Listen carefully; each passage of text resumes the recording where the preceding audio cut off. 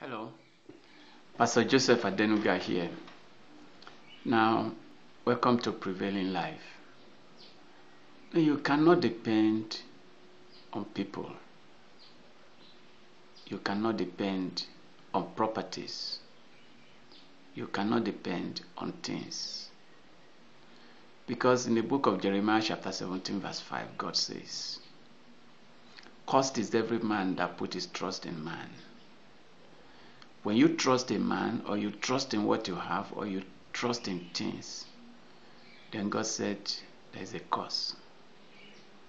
Now, to look unto man, to depend on a man, to depend on what you have, is to depart from the Lord.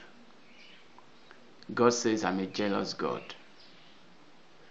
God does not want you to put your eyes on any man. He does not want you to put your eyes on any woman. Anytime you focus on man, you can never focus on God.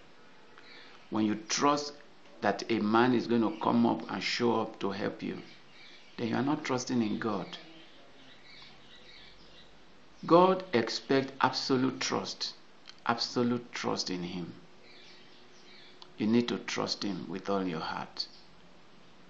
Proverbs chapter 3, from verse 5 says, Trust in the Lord with all thy heart, and lean not to thy own understanding. In all your ways, acknowledge Him, and He will do it for you. Now, you need to trust the Lord. This is the only way. Absolute trust, absolute dependence on God.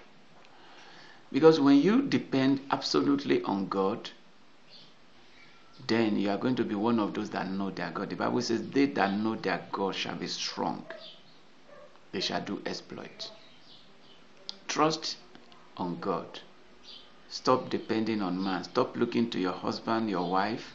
Stop looking to your father, your mother. Stop looking to your uncle. Begin to put your faith in God, and God will do it for you.